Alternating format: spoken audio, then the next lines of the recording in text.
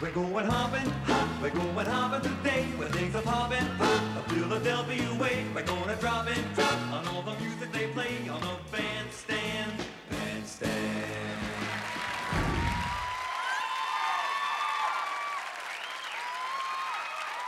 Al, you are weird. There's no getting away from it. Uh, you can step out of character for a minute. Do you ever run into Devo or Madonna or Huey Lewis, the people who do like a sturgeon? Uh, what was it? What's the what's the Huey Lewis fish thing? video that I did about like a sturgeon, yeah.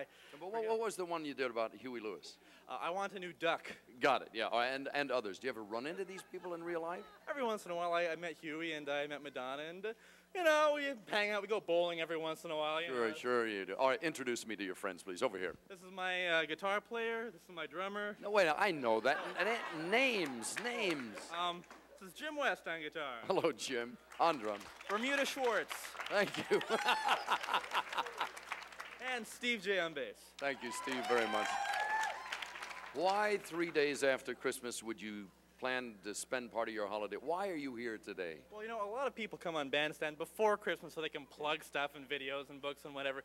And I come on after Christmas because I'm basically just here to make the world a better place to live in. Because you know, Dick, if, if I can, if I, if I could, if I could make just one person happy, if all the all the records and all the videos and everything I've done in life has just made one person smile, then I think it's a big waste of time because I want a lot bigger audience than that. Getting very deep in here, Al.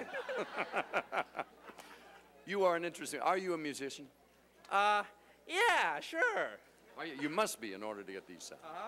But I don't. Nobody plugged this in, but I think it really does play. May I ask, on one serious note, if somebody wants to see you in the forthcoming year of 1986, will you be out there in concert? Uh, I don't know yet, but I'll probably be hanging around my house, so, you know, come visit me. Never, never ask this man a question. Ladies and gentlemen, Weird Al Yankovic and friends. Gentlemen, come with me. Mike and the Mechanics now.